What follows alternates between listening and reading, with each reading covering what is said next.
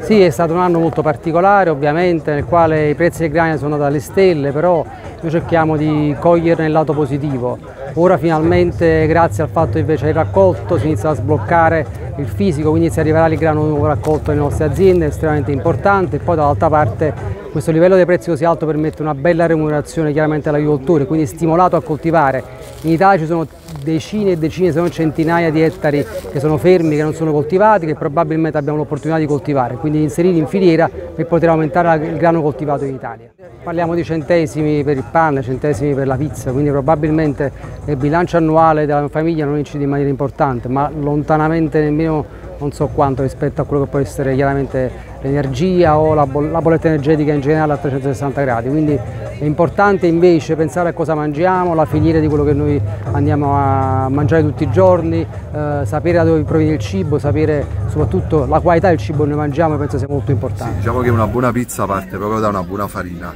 e avere un prodotto fatto con grano tracciato, quindi che eh, insomma, cresce quasi a chilometro zero, ecco. un, direi che è un,